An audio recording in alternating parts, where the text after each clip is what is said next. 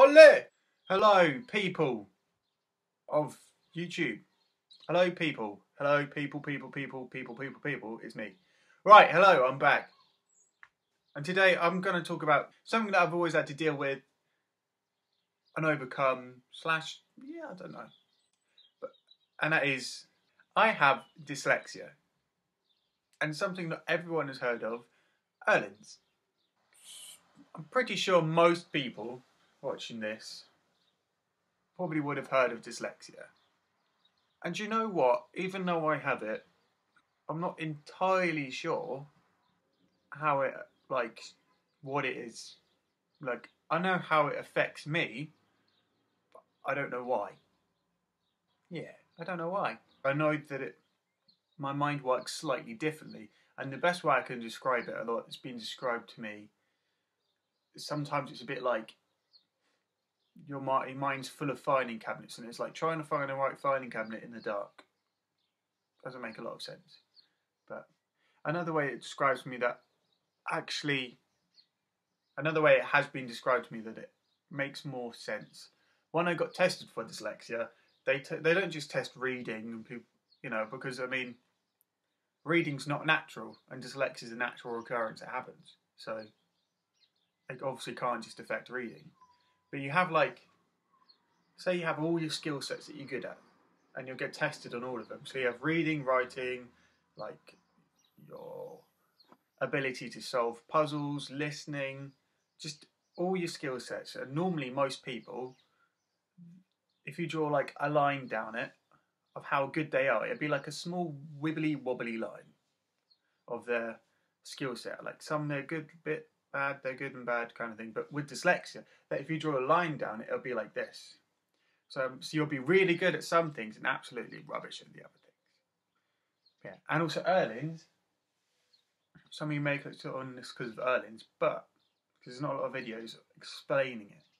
I'm not an expert, but I have Irlens. And for those of you who don't know what Irlens is, ouch. When you, anyone is at school, if you are at school, have you seen anyone with like coloured paper or like a plastic film they put over the paper or even coloured glasses? That's Irlens. I have Irlens and mine are dark green. These are my glasses. And I'm not sure if it's good or bad. In the summer, no one would ever notice. But the thing is, in the winter, these are quite dark. So the one question I get asked a lot is, why are you wearing glasses in the winter? You hungover you know. And I'm not gonna lie, I have worn sunglasses in the past when I'm hungover, so it's an easy mistake to make. But yeah, so Irlens. A lot of people to begin with have paper,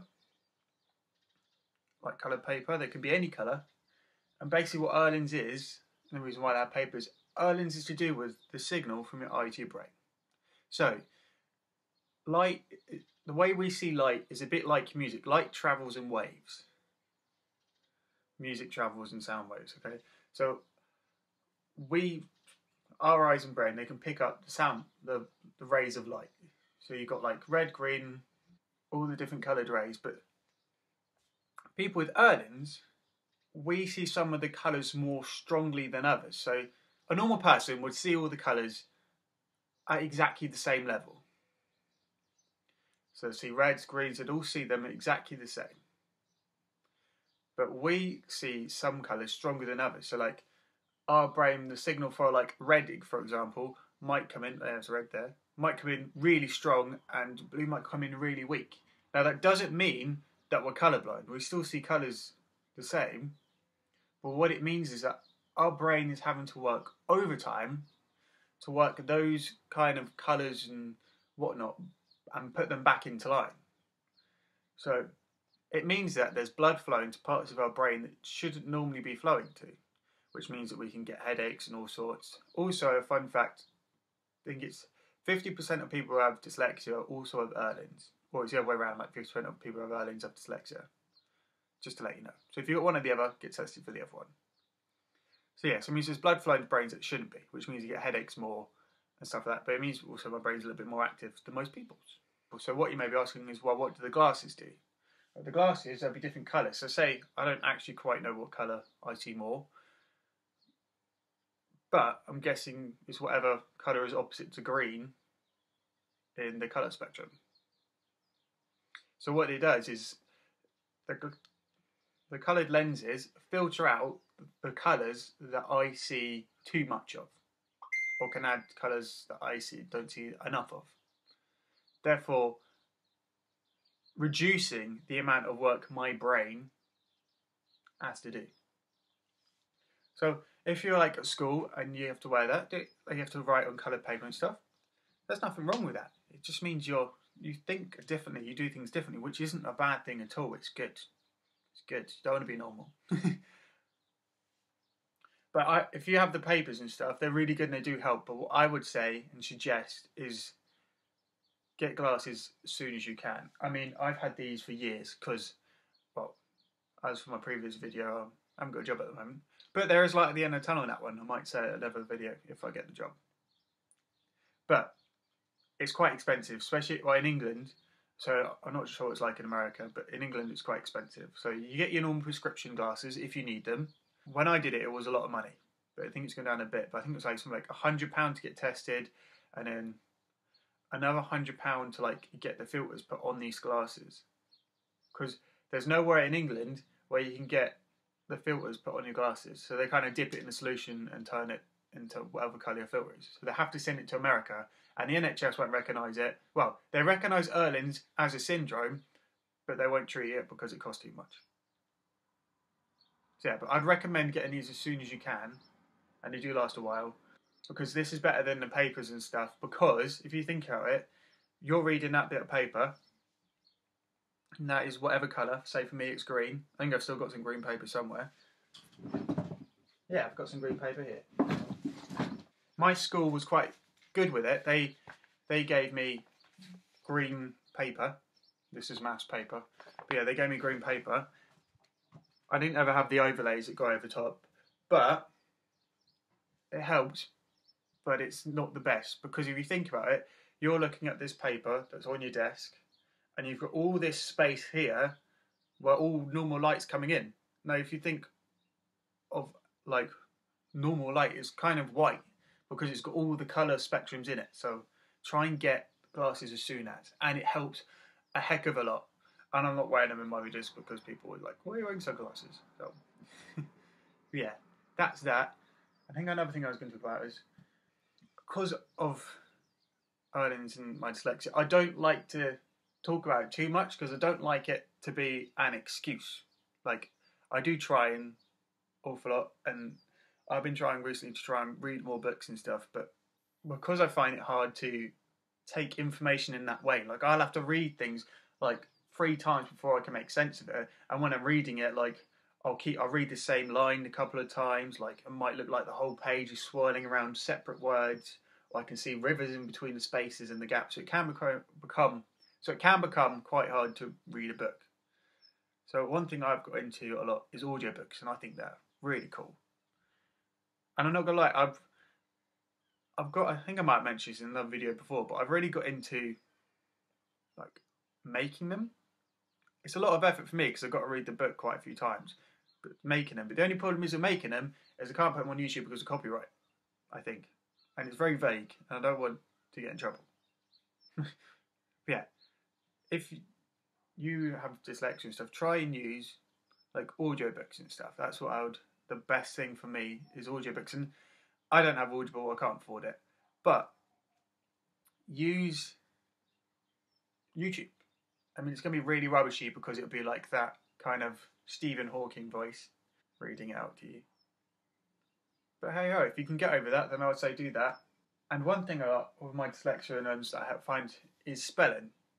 While at uni, I was given this really cool program called Dragon, where you have to wear like a headset as if you're working for a call company and you speak into it and it will type exactly what you're saying.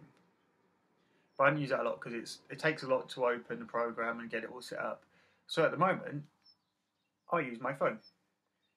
I just dictate into my phone. If I if I'm not showing a word, I'll press a button and I'll talk into it. It works really well. And yeah, another program I use is Read Write Gold, and what that is is it um, you can like you have a paragraph or anything on your computer, and you highlight it and it'll read it back to you.